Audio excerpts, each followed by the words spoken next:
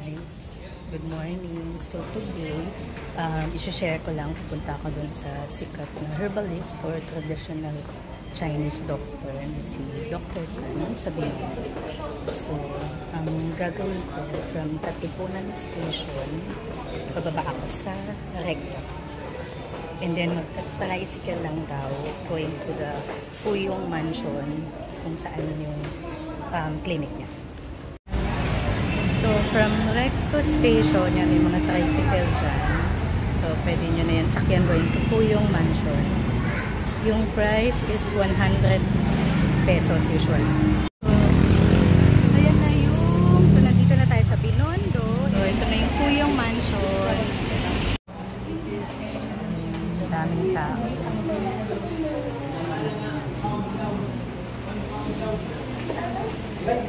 Guys, so ayan, tapos na kami kay Dr. Tan. So, ayan.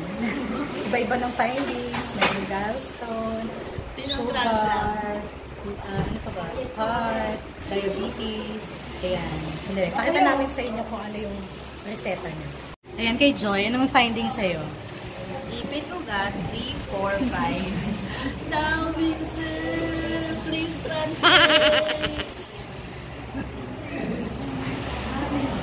Papunta kami sa bilihan ng gamot ni Dr. Tan. So, from Puyong Mansion, turn right ka lang and then diretso. Nakikita mo na yung Ching Tai Chinese Drugstore. So, dyan mo yung either tableta or dahon or tea na reseta niya. Mm, So, ayan. Ito yung Chinese Tai Drugstore. So, yun yung mga pag-tablet dito ka sa side na to. So, pag uh, herbal, ang pinili mo or tea, ayan. Ito, yung mga gamot-gamot nila.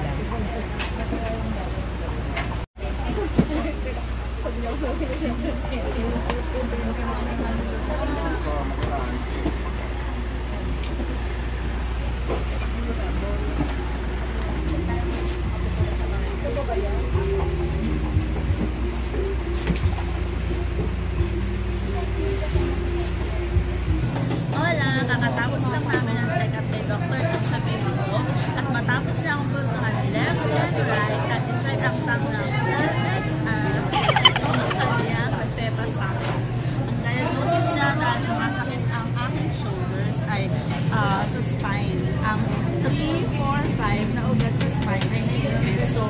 ito ang kanyang prescription sa akin kasi karugtong daw ng sa spine ang diabetes and kidney problems. So, ito.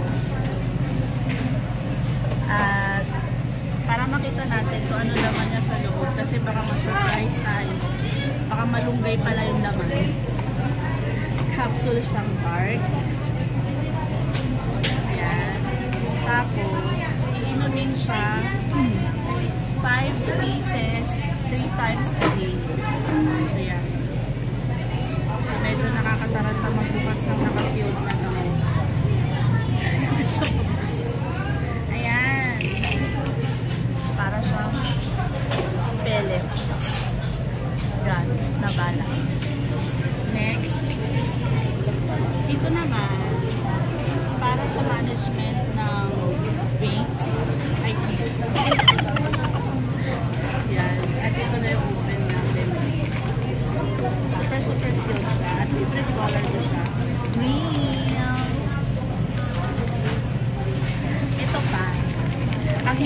inaasahan sa lahat.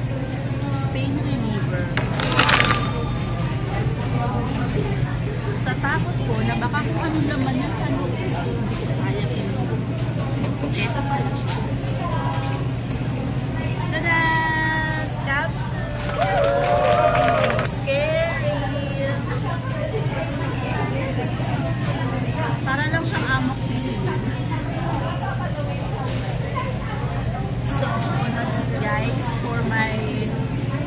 Concerns. At ang sabi ni Doc, prevention is better than cure. So, ito, meron Ako naman, yung, yung finding ni Doc sa akin, kung na sinabi tinanong na ang nararamdaman. Sabi ko, medyo nahirapan ako huminga.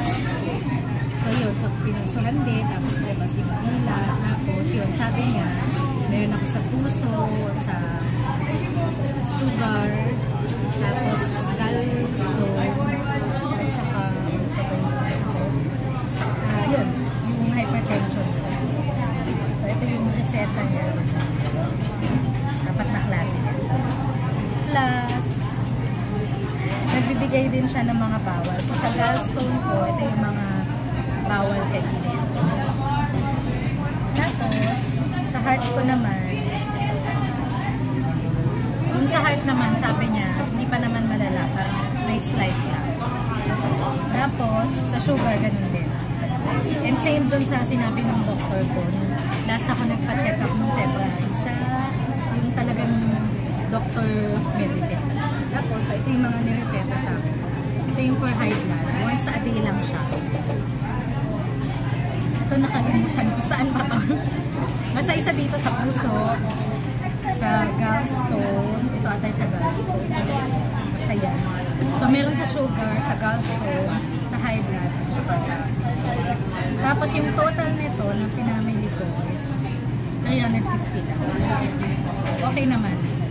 Ah, kaya naman. Medyo mura pa siya kung tutuusin. Tapos after nito, tsaka kami babalik kayo for follow-up check. So ayan, yun yung experience namin kay Dr. Overall experience. Tapos, Pala siya nakakatakot. ah, nakakatakot kasi baka mamaya kung anong makita sa'yo. Hindi naman siya kami sinabihan mo pinadets na kami. Agad-agad. Wala namang malala, di ba? So, tig-isang box lang ng gamot. Okay tayo. Pwede na yun. Tsaka, amazing kasi yung exact na mga sakit talaga namin na sinabi ng mga medicine doctor namin eh nakita din niya same so, yun. Well, mine, ako may pinakamahal na binayaran sa halagang 675. Pero, ang ano doon, walang bawal na pagkain. Oo, wala siyang bawal saka yung gamot niya good for 4 days sa akin 8 days ata or 10 days Kasi kung 5 days. So, babalik kami after day. at mag-update kami kung effective ba gumaling yung aming mga sakit so yun So far, wala akong makakain kundi gulay. Oo nga. Pray for me. Madami sa kanya kasing bawal. so yun. Ayun guys, thank you for watching.